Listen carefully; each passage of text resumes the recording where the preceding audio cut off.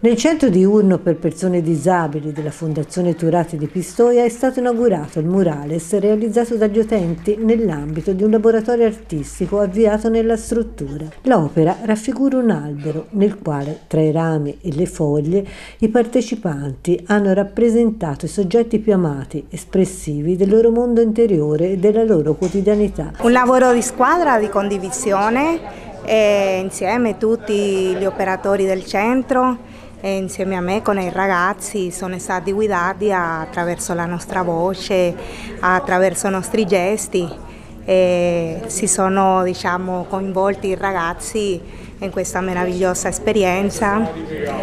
E abbiamo preso spunto dai giardini dei Tarocchi di, che dell'autrice si chiama Nikki Sanfile e ci piacevano tanti colori, tante forme che ha lei e quindi è stato diciamo, molto utile trasmettere questo ai ragazzi, l'allegria della vita. La, la, cosa nuova, almeno per noi, è che tutti i ragazzi che frequentano il centro di Urno Turati hanno partecipato, ognuno con, loro, con le loro competenze, con la loro capacità, con la loro creatività, con la loro voglia. La gestazione di questo murale è stata lunga, è stata lunga con alcune piccole interruzioni, con delle aggiunte di, di colori, di... ogni ragazzo ha messo qualcosa di, di, suo e questo per noi è stato importante, cioè nel senso la partecipazione di tutti.